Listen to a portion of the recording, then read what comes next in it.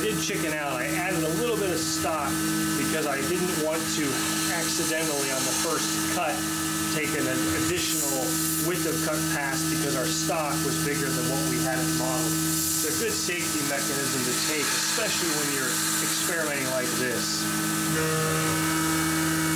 Sounds great. You notice we've got a Fogbuster coolant line here. We just got it the other day. It's only running air, uh, but that'll help evacuate the chips. And we are super excited to give it a test, um, get some coolant for it, and we're going to uh, do a comparison, I think, with it with the Trico. So sit back, relax, and enjoy some hopefully 3D machining. Or maybe you'll see this part fly out of the fixture at the camera.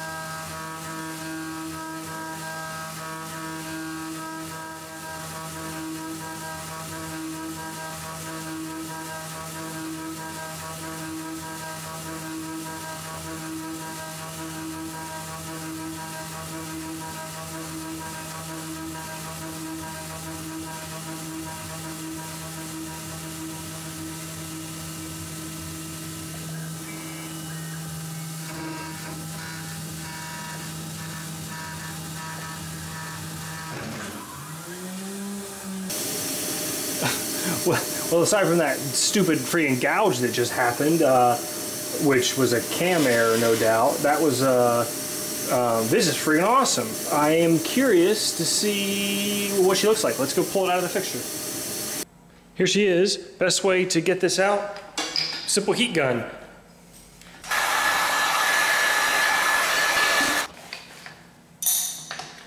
I wear gloves because the, the super glue is just nasty stuff.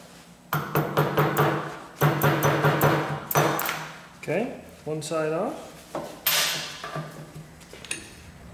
And actually, we'll leave it in there and just... It's crazy how strong this stuff is.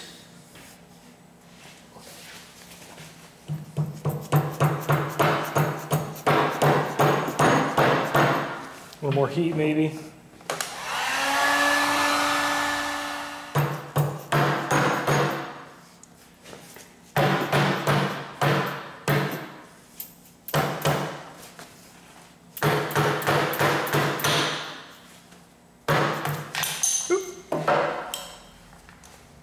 Okay, uh, let it cool down, and then to get rid of the super glue, I'm actually just gonna let it soak in acetone. I find that that's the easiest rather than try to fight it. Um, you can also, I'm told, put it in an ultrasonic cleaner, which would be a pretty cool way to try it, but ours is in a box because of the move. Be right back once we've soaked her out. So good news is, I think that actually turned out to be a great surface finish. Wasn't actually the point of this, but clearly we could see that the super glue held, and it frankly held really, really well. We probably actually overdid it in terms of the depth of that mold and so forth. Um, I get a fail or close to fail on the fixture though, and I'll have to go look. Um, we're off, you know, geez, 30 thou or more. Point of the project was to finish this part, and I failed at that. But hey, um, okay, so I got to go figure out how to do it better. Um, I know we can. Uh, a lot of it was actually pretty easy, and uh, I don't know, it's kind of a fun project. So with that, folks, take care. See you soon.